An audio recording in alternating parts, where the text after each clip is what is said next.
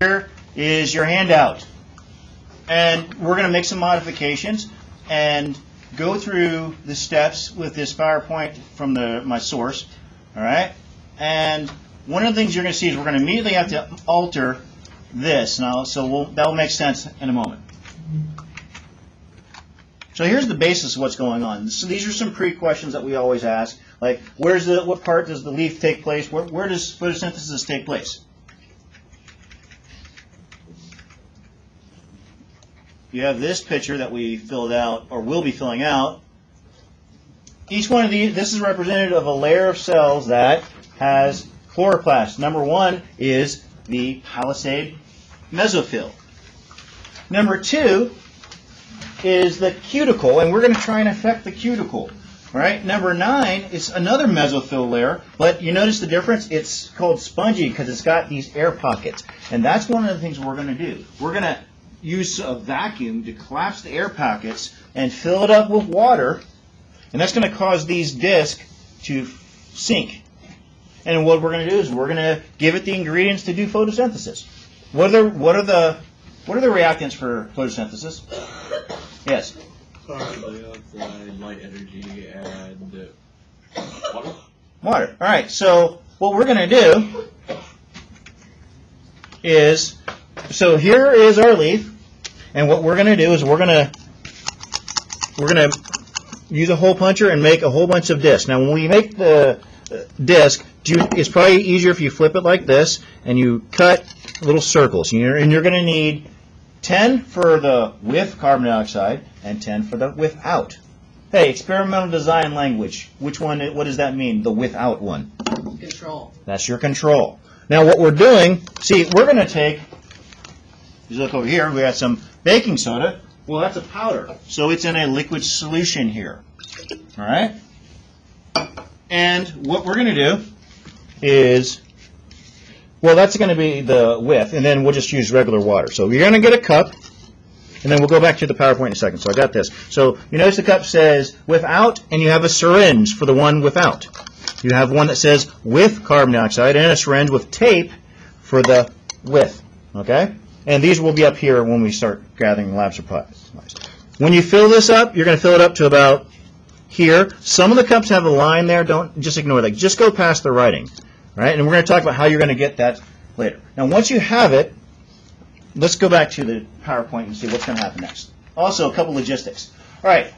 This is the background. Now, one of the things that we're going to do is when you're cutting your circles, we're going to put this soap we're going to put drop, two drops here, two drops here, and Mr. Myers and myself will do that while you're cutting out the disc. What does that do? All right? It actually affects the cuticle. This is going to make permeabil permeability easier. It's going to allow for carbon dioxide to get in, carbon dioxide to get in through number seven, the stoma, or stomata. So carbon dioxide is going to get in here, and it will diffuse into the cells where if there's water, which it will be bathed in water, and water actually comes up through this structure called the xylem in, in, during normal photosynthesis, all right? And so you've got water, you've got carbon dioxide, and then we're going to put it under a lamp. There's your light, there's your energy source. We're going to see if we can measure photosynthesis. So let's just go back, kind of close this up. All right, that's the video I'm going to show you later. So here's the deal. You got the syringe. You've got liquid soap. You got all the supplies, but what? Why we're using this syringe? Let's go ahead and go to here. See, if you look here, you're going to take your little little hole punch disc. You're going to put them in that syringe, and you're going to do that. So let's go. Let me go back to the camera so you can see.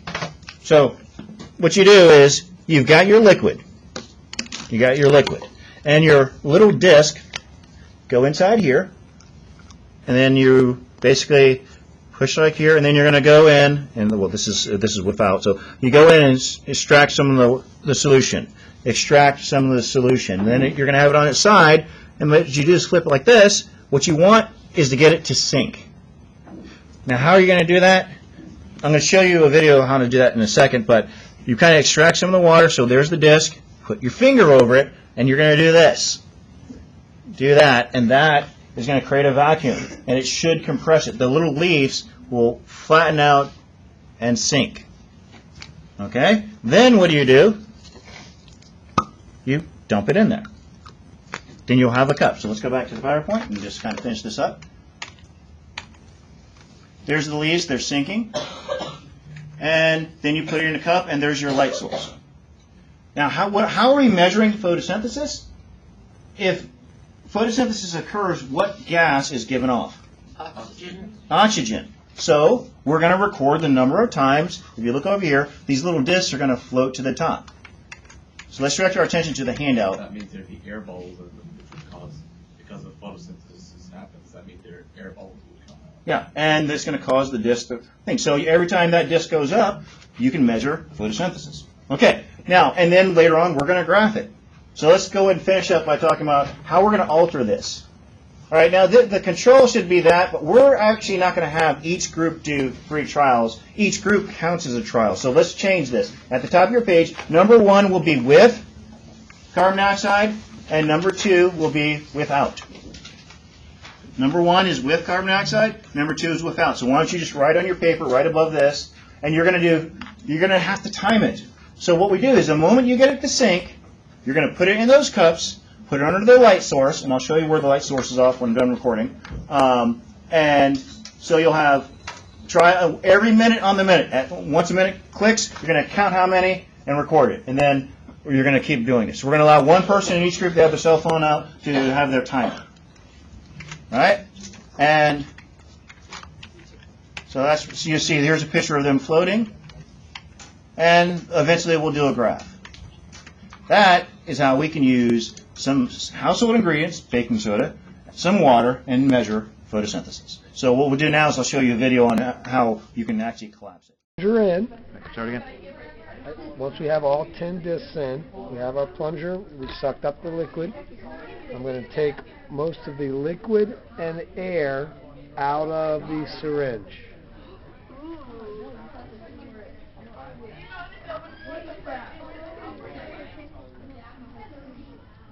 Slowly taking, just so it doesn't mess up your disc. But close to the top, where it's just a little bit of liquid. Finger over, pull the, ba- uh, the plunger back, so it's a lot of pressure, hold,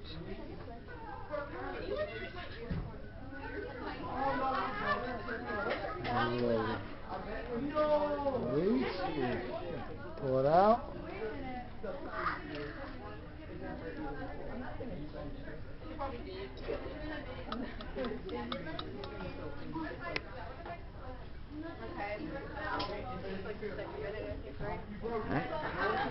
And once it's done, we'll put it underneath the light and start timing.